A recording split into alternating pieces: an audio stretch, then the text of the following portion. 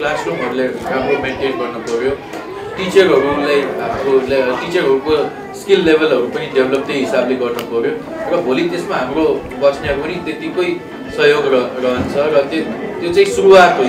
यो स्कुल सकिने भनेको एन्ड होइन कि एउटा सुरुवात हो बिल्डिङ सक्ने।